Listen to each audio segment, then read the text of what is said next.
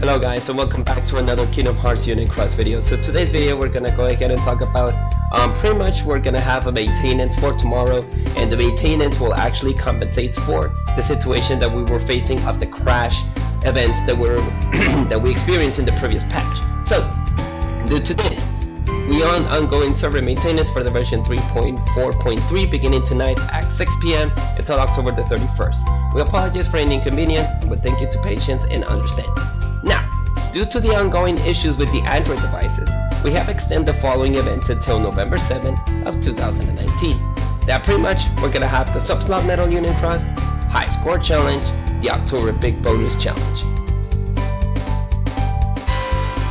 So, that means that we're gonna be able to still use the Subslot Medal Union Cross, the High Score Challenge.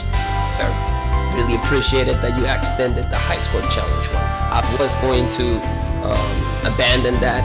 That's pretty much what happens with the PvP. PvP is the only thing that we need to check about.